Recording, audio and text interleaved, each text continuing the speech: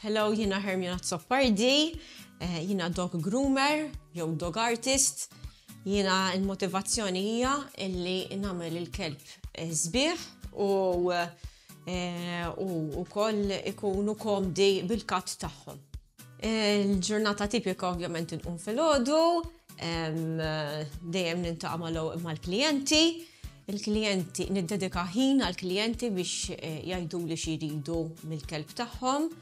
Eh, mhux kull kelb jieħu l-istajl li jkunu jridu għax kultant juruni xi ritratti u hekk, u ovvjament kif jiddeportaw ruhom il-klib Mhux dejjem huwa possibbli. Xi jkollok kelb imqareb inut li toqgħod tipprova tagħmel xi style u ovvjament il-kelb ma jkunx adattat għal dak il għal dik it-tip ta' cut. Tifhem? U mbagħad nibda l-ġurnata billi naħsel il-klieb, nibblowjhom, nara t-tip ta' xagħar jekk hux dry, jekk hux oily, nuża l-prodotti li hemm possibbli u mbagħad nibblowja u mbagħad nibda naqta'. Nispiċċa l-ġurnata ovvjament eżawsta, imma s-sodisfazzjon li jkollok x'int toħroġ kull kelb li tagħmel u tara dak l-ismile fuq id-daħqaf fuq il-wiċċ l-owner hija xi ħaġa sodisfaċenti għall-aħħar. Is-sodisfazzjon ta' xogħli hija nara kelb lest minn suf. Ma jispiċċa qatt. Nagħmel style kif inhu dal-kelb u fl-aħħar tal-ġurnata nara xi kultant fuq social media ir-ritratti li jtellgħu l-owners u li jkunu kuntenti. Dik hi dik is-sodisfazzjon.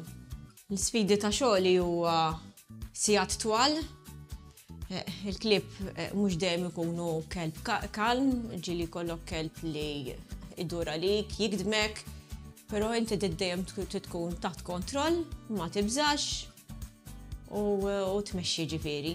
Biss però apparti li huwa sodisfaċenti, tajja. Imma dak huwa t-tip ta' xogħol tal-ġurnata tiegħi.